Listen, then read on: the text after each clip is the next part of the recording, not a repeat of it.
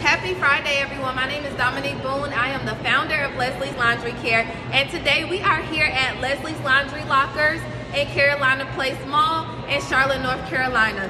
So today I want to talk to you about the services that we offer. We have a mobile laundry and dry cleaning service when we come to your home or your business, pick up your laundry, wash, dry, and fold it, and bring it back to you in 24 hours. We also have a apron rental service. It has the two pockets along with the strings. And we have a towel rental service. So if you own a restaurant, Airbnb, gym, short-term rental, vacation property, we're here to help you get access to quality towels and aprons.